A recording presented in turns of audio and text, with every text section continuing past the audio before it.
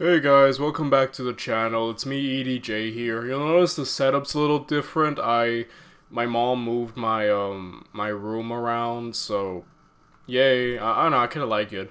But overall, welcome back. We're gonna be reacting to another oversimplified video, another two-parter about the Cold War. Now, I, I like to give my little knowledge spill about what I know. The Cold War is an event that I believe, don't quote me on this, but I believe it lasted 50 years or around that. And it was a well it's not it was a battle of ideology i between the ussr soviet russia and the united states of america between communism and capitalism. And it started shortly after world war ii and the thing is i believe it's because of the of nukes being around, there wasn't a direct battle between uh, the two the two states because that probably would have um not states sorry bleh, I want to apologize. It's getting hot here and I'm like eh. but point is um yeah there wasn't a direct battle between the two superpowers because that would have probably ended the entire world especially with all the nukes going around. So it became more of like a a chess match. I kind of like to imagine this conflict as a chess match. I say that because there's a lot of proxy wars, basically, like for example, the Korean War. You know, Soviet Russia funded the North, and the United States fund, funded the South, and conflicts like this waged around the world with each, uh, with each side funding in order to stop or spread communism. So yeah, overall, a very interesting conflict that just weighed for quite a while. And over some, I I hope I got the majority of that right, but anything I didn't get right, where I'm about to relearn the oversimplified. It's been a while. It's been I haven't learned this stuff since sophomore year, so I'm I'm ha I'm excited to see what I get right or what I don't get right. And yeah, that's really all I've got. Before I get started, I want to give credit to Oversimplified. I don't own this video. This is all his work. I'm just a dude who likes history, and um, I'm just wanting to learn more about it. So, yeah, without any further ado, let's just get right into it. Let's watch Oversimplified's The Cold War Part Uno. Description down below. The year is 1917. Fighting rages on the eastern front of the First World War. Both Germany hmm. and Russia are on the brink of collapse. Soldier, I need okay, you to click on the right man. video. Got it. Found him, sir. Oh my gosh. No, not Lenin. Lenin, the Russian communist. What? Why would I need a beetle? Lenin, the Russian communist. He was exiled to Switzerland. You know what? I'll do it myself. I remember this. Who wants to start a revolution?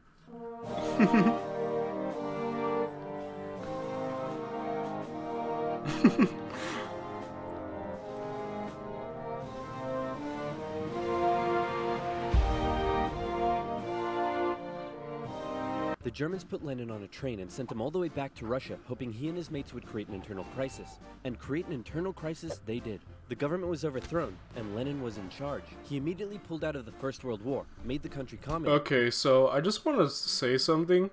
Yeah, I, I always tend to forget. I think a lot of people do that. I guess, yeah, the Germans sent Lenin back. Man, I'm, I'm wondering if, like, if they hadn't done that, if like Lenin would have ever gone back on his own or he would have remained in exile.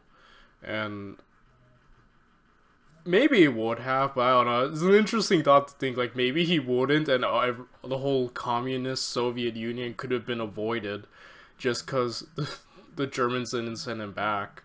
Uh, that, that's a that's a funny thought to think about that. Started a three-year-long civil war, got shot, broke the economy, caused a famine, and then he died.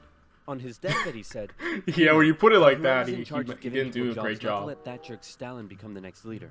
By the way, who did I put in charge of giving people jobs? That would be Stalin, sir. Mm-hmm. Stalin was a rising force in the Communist Party. He still had some opponents, but conveniently, all of them were arrested or disappeared. So that was lucky.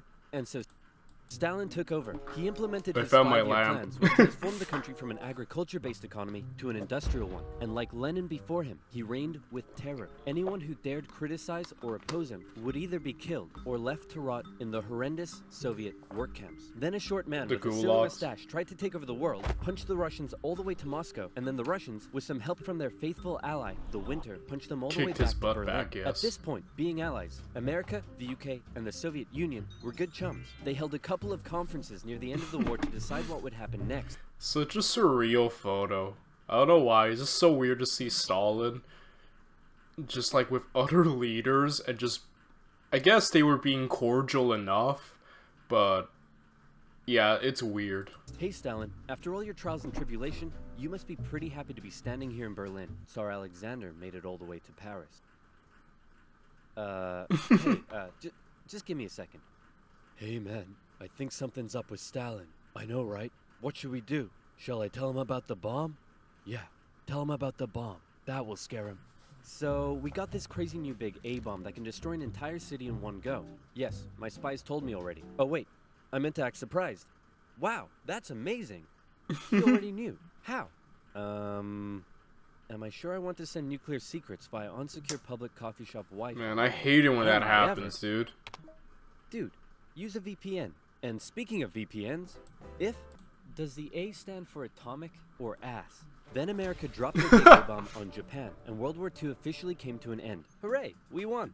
Okay, so now it's time to establish the New World Order. Stalin, you're in charge of Eastern Europe. Now, we want you to let them all hold elections. Oh, yes, of course, elections. And these elections will be free and fair, right? Oh, yes, certainly, free and fair. No. Definitely free and fair. Communist, communist, communist, communist, communist, communist.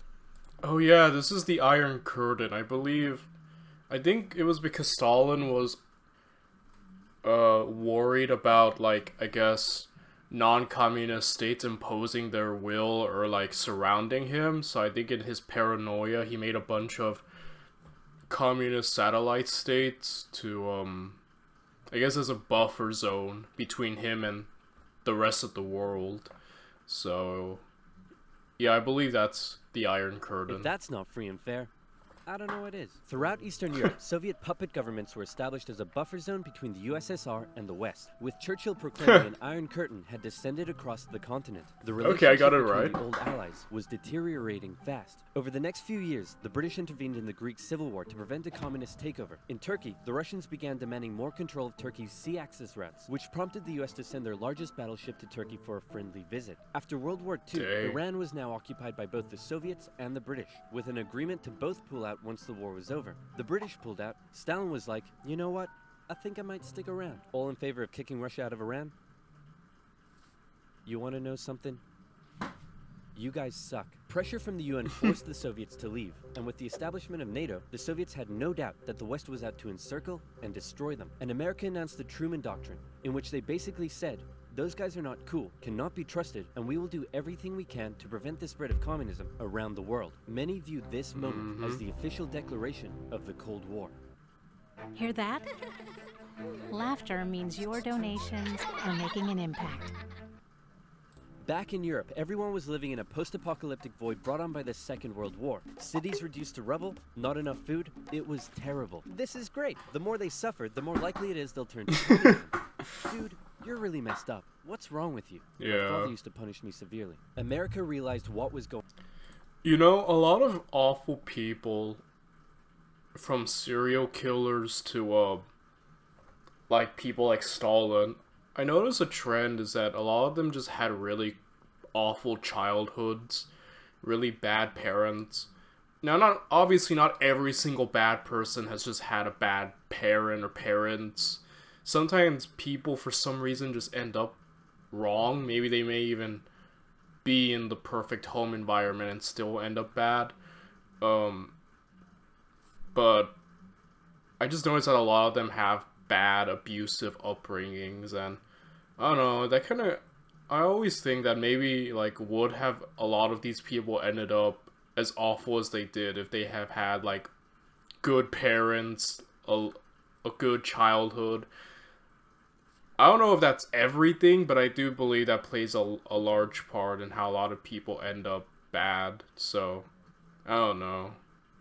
I don't know. I don't know why that thought came in my head. I was just thinking about it. going on and quickly made a move. Under the Marshall Plan, they sent $12 billion to Western Europe for its economic recovery. The countries of Stalin's Eastern Bloc looked on with envy. Hey, Czechoslovakia, you want to come get some economic aid? Yeah, but I have to check with my mom first. Sorry, America. I can't come. This was a full on economic battle raging between capitalism and communism in Europe. If the Western nations developed faster and better than the East, that would be a defeat for Stalin. So he set up his own rival economic recovery plan, which he called Comecon, and he also set up Common Oh, Core, seriously? Which gave him political control over the Eastern Bloc. But nowhere did this economic battle rage harder than in the city of Berlin. Caught over a hundred miles behind Soviet lines, the city had been divided up between the Allies, and the western segments were still under Western control. East Berliners could travel freely to West Berlin, see the economic prosperity, and think, hmm, maybe this communism thing ain't so great after all. I'm gonna have fun tonight. You're home late.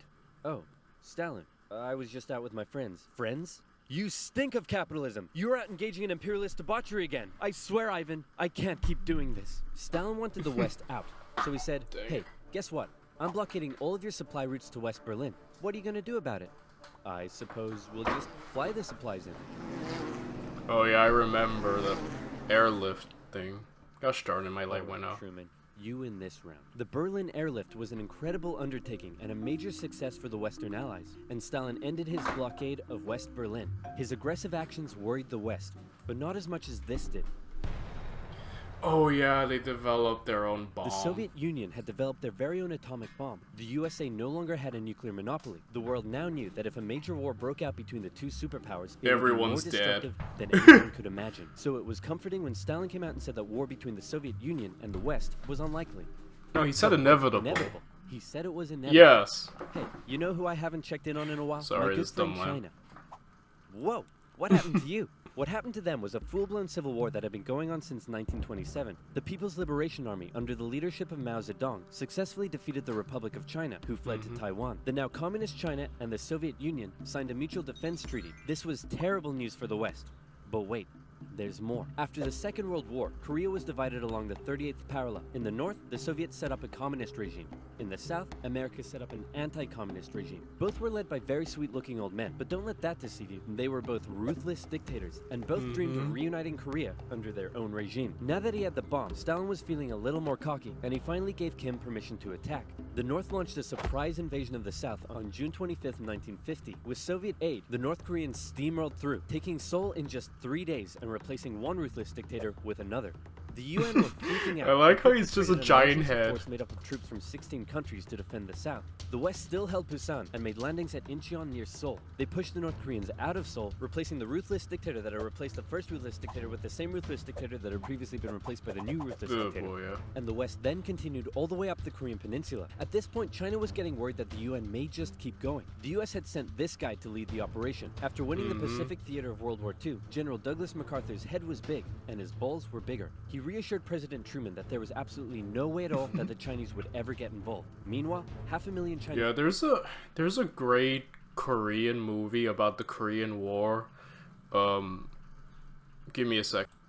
Okay, I found it. So there's this Korean War movie. I believe the translation it's from 2004. It's called The Brotherhood of War. I'm not even gonna try to pronounce that, guys. I think you all thank me for not butchering the the language, but um yeah it's a great movie about two brothers and the events of the of the korean war that in that happen around them. And it's a really great movie and i'd recommend it if you want like a great historical movie about the korean war. Very emotional. I remember seeing it when we were learning about this back in my sophomore year and um, I believe you mentioned that yeah, the the Chinese didn't get involved. No, they got involved, and I think MacArthur wanted to nuke them. He was like, "We have to nuke, use it," and I think it's good that he didn't get his way. Honestly, with the Cold War, I feel like I, we could say that for multiple points. It's good that the people who wanted war and to use the nukes didn't get their way, because the world as we know it probably wouldn't be as we know it. troops were crossing into Korea. Nuke 'em. No, nuke 'em. No, Oh, come on. You're fired. The US considered the nuclear option, but now that the Soviets also had the bomb, they didn't want to risk all out global destruction. The communists pushed the West right back almost to the exact same spot they had all started from, and they ended up in a stalemate where they remained until both sides finally agreed to work towards a peace settlement in 20. Protecting nature begins with you. Defend Oh, the natural bears. world you love by donating to the nature. 2018. Back in America, Americans decided they wanted a new president who would be tough on communism, so they elected famed World War II General Eisenhower, who was really hard to draw. It's 1953. Hey Stalin, how you doing? Oh, he's dead. He had a cerebral hemorrhage and his reign of terror kinda came back to bite him in the ass because he had imprisoned all of his best doctors and those that were left were too terrified to treat him. The new leader, Nikita Khrushchev, called a meeting and said, Hey guys, you know how Stalin was imprisoning and murdering us all for doing basically nothing? Yeah, he was kind of a jerk. Yeah, de-Stalinization, I believe, was uh, the move. I'm really not sure how this is news to you. Khrushchev went on a campaign of de-Stalinization. Statues of Stalin were taken down, Stalingrad was renamed, and Khrushchev announced that he wanted the Soviet people to be happy and would allow greater freedom in the Soviet Union. So how did that work out? Well, an uprising in East Germany was brutally suppressed, a revolution in Hungary was brutally suppressed, and demonstrations in Poland were brutally suppressed. Although he did finally allow some mild reforms. Back in the Soviet Union, he permitted more cultural expression, but then began banning stuff based on his own personal taste. Modern art looks like a child urinated on a canvas. Banned. Jazz music true. sounds like the feeling of needing to fart. Banned. Your poetry is really depressing. How could anyone in the Soviet Union be depressed? You're banned. Khrushchev wanted the Soviet people to be happy, but not like that, or that, or that. Young people began enjoying abhorrent Western pop culture. The Beatles. Son, remove that disgusting imperialist apparel at once. Shut up, Dad. You can't tell me what to do. Well, would you look at that? Turns out he can tell me what to do. The West had initially liked the cut of Khrushchev's jib, but world events soon soured relations even more. The two sides were spying on each other a whole lot throughout the Cold War. The KGB had spies and informants in nearly every aspect of Western life and government, so much so that whenever the US tried to send spies into the Soviet Union, the KGB were usually ready to arrest them on the spot. Members of the Manhattan Project aided the Soviet Union in acquiring the bomb. Some American officials believed they were on the wrong side. I'll sell you three secrets for $5 million. Okay. Go ahead. The Allies are digging a tunnel under East Berlin to tap your communications. There's an American agent living at this address in Moscow, and sometimes when I'm home alone, I like to put on my wife's dresses, sit in the corner, and cry for hours. Very interesting. In America, fears were felt during the Red Scare and the McCarthy trials. Oh, American values McCarthyism, imploded as fear of communism collided with freedom of thought and expression, and communist kind of became a buzzword thrown around to describe anything people didn't like. Hollywood? Communist. Your next door neighbor's dog? Communist. When the grocery store cashier asks if you need a bag when you clearly can't carry 10 tubs of Baconnaise in your hands, communist. But one area in particular where the US had an edge over the Soviet Yeah. Union was in its espionage technology. In particular, U-2 spy planes flew across Russia carrying out surveillance from the skies. There was a nasty incident in 1960 though, when one was shot down and Khrushchev was furious. Who the hell is this? He's a high altitude weather enthusiast who flew off course. Okay, that sounds plausible. Wait a minute. Why does he have a gun and a poison needle? Because he's a very naughty high altitude weather enthusiast. But much to America's concern, the Soviet naughty. Union appeared to be ahead in the space race. Everyone freaked out when Russia launched the world's first satellite, and then they actually I believe, yeah, uh, he's about to say it, but I believe uh, Russia sent the first man into space. I think also the first dog. Oh, that poor dog. They sent a man into space. Even worse, there also appeared to be a missile gap in the Soviets' favor, and Khrushchev was so confident that he even allowed the US to set up a technology exhibit in Moscow, attended by a certain Vice President Richard Nixon. Check this hmm. out. We have color TV. I'm not a crook. Yes, but we've been to space and can obliterate you with our massive nuclear arsenal. Check out this vegetable peeler.